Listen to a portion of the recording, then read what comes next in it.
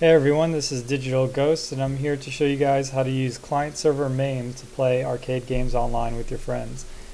Um, this is uh, first thing we need to do is forward this port 5805 to your machine. Uh, a lot of games have this problem, this port forwarding thing, so you can just kind of look it up on the internet. This is just a screenshot from my router and I'm forwarding it. Was my IP. So next thing you need to do is download client server MAME. I've downloaded it right here. Went ahead and put some ROMs in there. I won't talk about that. But uh, we'll uh, open up a command prompt. A lot of people have talked to me about using GUIs, like integrating it with the GUI. I'm interested in that, but I don't know much about that. So uh, if anyone has any info, just let me know. So you type CMD here. It's going to open up a command prompt. Go to the programs, client server MAME directory, and then vmame.exe dash cc. That's going to create a config file. So that dash cc does. That's what this ini file is. And I just created. Open this guy up. So look at these options. Um, by default, client server MAME is uh, window and not maximized. Um, this is that you can kind of look at this command prompt. This kind of tells you some of the information. I've started to integrate it in with the main user interface, but it's not 100%, so you want to kind of have an eye on this, at least in the beginning, so you get familiar with it. One other thing you want to look at is the miscellaneous options. These are all new options to client server MAME. And I'll get into these in more detail later. So that's okay. So let me go ahead and open a second one.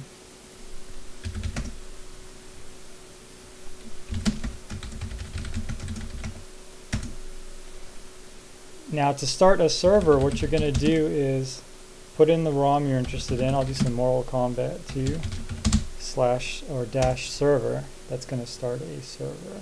Okay. Let me put this guy over here. There are errors in the CMOS, whatever. It says that the first time you start it up, it's kind of configuring. So now we got Mortal Kombat 2 up and running over here. What we want to do is vmame.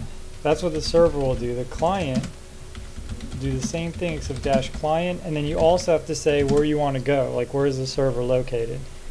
So in this case I'm going to put in um, site address and I have the port forwarded so it's going to bounce from this guy that address to my computer.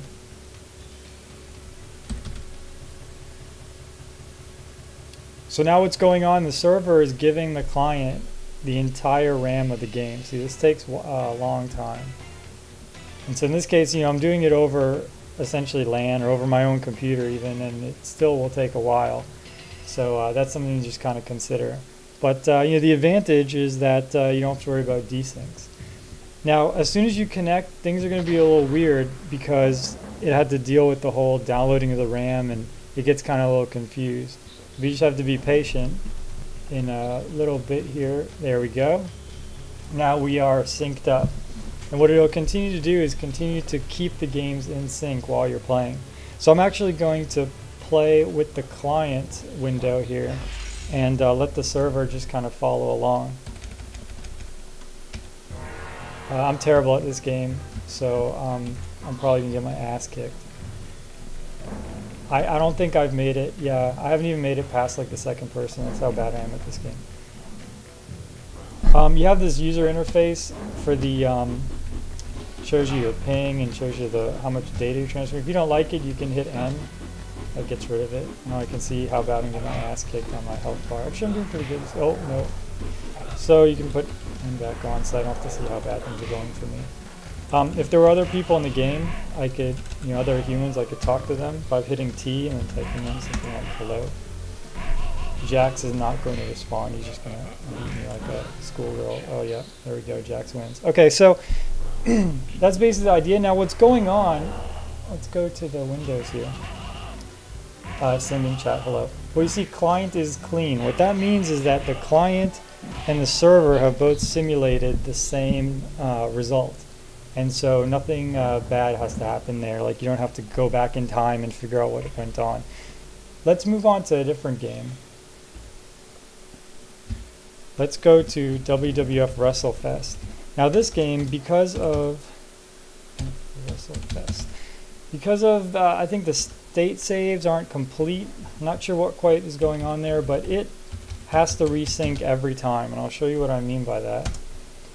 Um, the client and the server deviate, and this is the kind of thing that you know over time it accumulates these deviations, and that's what causes server desyncs and um, you know other other network programs to fall apart. So as you can see in the beginning, just like Mortal Kombat, we're, we're out of sync, and this sounds crazy.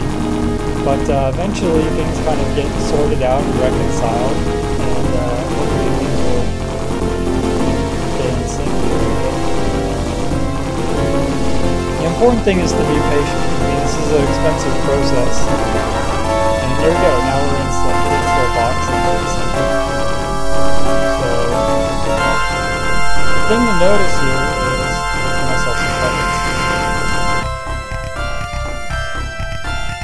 Mr. Perfect. The perfect flex.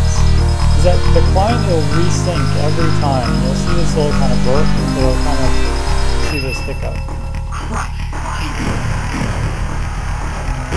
That's not somebody. Yeah, see right there? It got out of sync.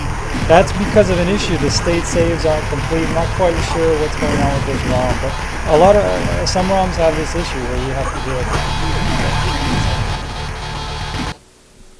That is where these values come in right here. So, you know, the host name and the port, uh, you don't need to mess with those since you're typing in the host name yourself anyways. But these right here are important. The seconds between sync, that's how many seconds in between a sync between the server and the client. So 30 seconds means every 30 seconds you're going to get that hiccup, that beep, you know. The second number, sync transfer seconds, that's how many seconds it will take to transfer the data. So if if you pick, let's say I pick zero for this, which means it'll take no time, or I pick one second, but I play a game like Mortal Kombat that has a lot of graphics, a lot of data moving back and forth. What's going to happen is the server is going to get bogged down trying to send the synchronization too fast. So you want to, you need to kind of find a happy medium here, depending on how complex the game is and how often the game goes out of sync. As we saw with WWF WrestleFest, the game was out of sync constantly, and it's a very simple game, so the uh, synchronization, there's not a lot to synchronize. So I'm going to set this to zero. And so what you'll see, we'll start this guy back up again, is that it'll be much smoother.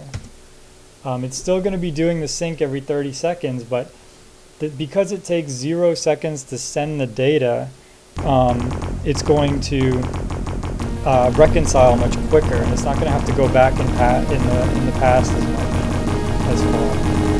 So I'm actually going to start another Get a third person going. We got third person coming. So he's a little jacked up, of course. We got um, you know, there are some ways to reconcile this, but overall, because you know, there's a couple quicker than that. Play player two for something. So that's kind of cool. So let's give myself some credits. This game is unique in that only the server, there's only one coin slot, so the server has to put coins in for everybody. But most games aren't like that, you know.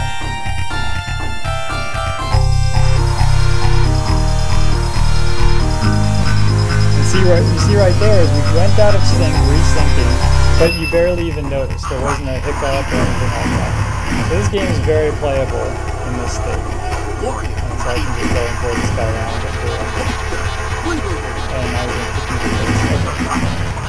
and So now, one other thing I'm going to talk about before I let you guys go.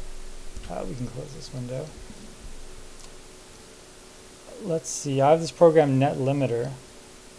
And so I'm going to pretend like I have a 40 kilobyte connection, which is, you know, most cable modems now, they do, I think, 80 or 100 or something. So 40 is pretty, pretty conservative. So let's go with that. I'm going to play Mortal Kombat. And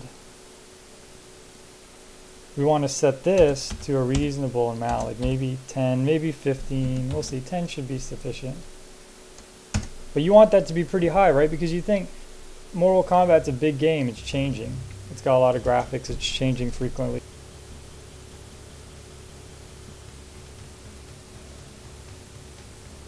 See, now what you see is that this is an extremely slow process. Um, we're looking at some ways of kind of speeding this up, but I don't know. I've tried some things that didn't quite work the way they were supposed to, and uh, I think overall, you know, initially, I mean, the server might have been running for days by the time you connect. So you have to be able to kind of capture where the server is in an absolute way, not a not a relative way like you do with these small syncs that the server is shooting out. So you kind of need the whole thing, and so that's that's time consuming. Well, I'm gonna I'm gonna turn off the rate just for now, just to get the uh, you can see this thing shooting up now, sending 500 kilobytes a second. Okay, there we go. I'll turn it back on. So now the client and the server are out of sync, and you're only transferring 40 kilobytes a second. So we'll see what happens here. What's going to happen is the updating sync check. That means the server started sending us a sync, but you see it hasn't gotten to us yet.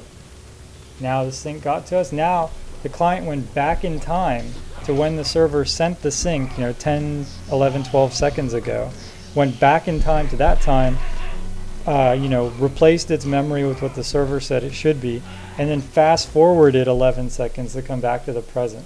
So that's why you see that, that hiccup there, that jerk. Um, so, you know, it's kind of a trade-off. You have to play with these numbers a little bit uh, for different ROMs and kind of find a, a, a, place that works for you. I think these numbers are pretty good as long as your ROM, um, you know, can sync correctly and has complete save state support. Some of these older ROMs, you know, you might have to drop this down. So that's it. Uh, I uh, hope you guys have fun playing some arcade games online.